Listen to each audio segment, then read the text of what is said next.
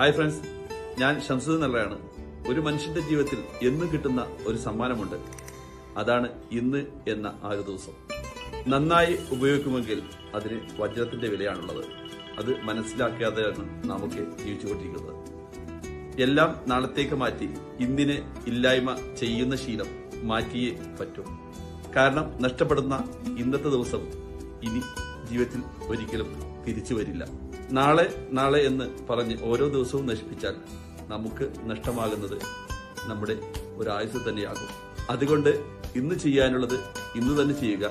നാളത്തെ കാര്യം നാളെ ചെയ്യാനുള്ളതാണ്. ഭാവി കുടികൊള്ളുന്നത് നമ്മുടെ ഇന്നത്തെ പ്രവർത്തനത്തിലാണ്.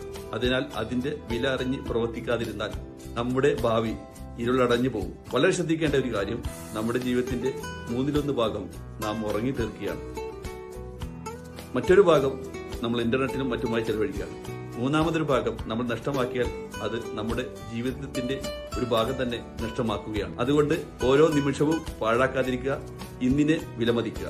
താങ്ക്